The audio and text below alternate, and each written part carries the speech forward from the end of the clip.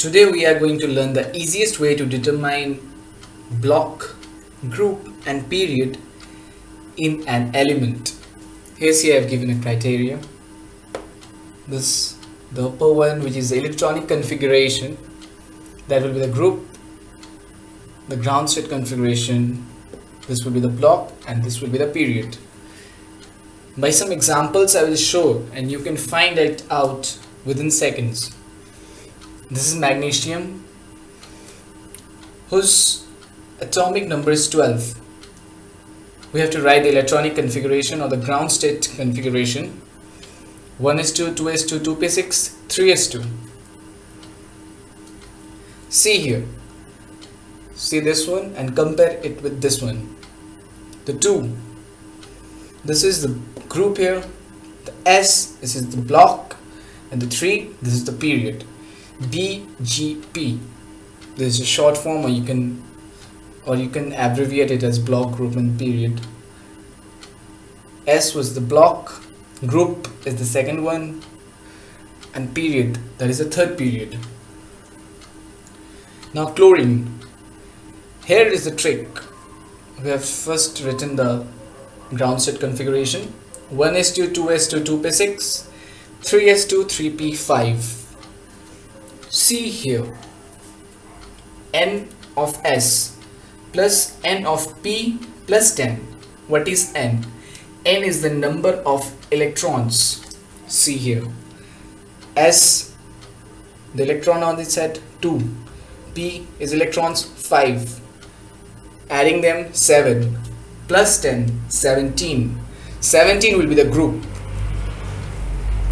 This is the trick here when it's coming like S and P at the last time means at the last of the configuration you have to add the electrons there and plus 10 this will determine the group. Now the block and the period. It would be the same one. P is the block and 3 is the period. The BGP the block is P group is 17 and period is third you have to remember this to find out the group. This is the trick. Mind it. The number of electrons on S plus the number of electrons on P means the electrons of S plus electrons of P plus 10. By this you can determine the group. Mind this. Now the third example, chromium. Its atomic number is 24. We have written the electronic configuration 1s2, 2s2, 2p6, 3s2, 3p6, 3d5, 4s1. Here is another trick for the D block elements. First, the group. To find the group where there is D and S, you have to just add the electrons of on D and just S. No 10, nothing just the electrons of D and S. Here you can see I have written the formula electrons of D plus electrons of S. That's all enough. You will determine by this you will be able to determine the group. And for the block, when D comes at the last you can see the D is here and you are finding the group with D and S. The block will always be D and the last the period. When you can see it is up to last 4 is there or it may be 5 period will be on the last. The last part will be only the period okay?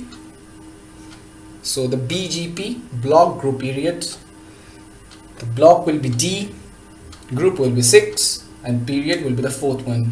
Mind this the period to find out the period you have to remain this one not the by not the one from which you took out the block. Not this one. From this one you have to find out the period. Mind it. You can try it on the other elements to find out the block group and period. This is the easiest way. I hope you have liked the video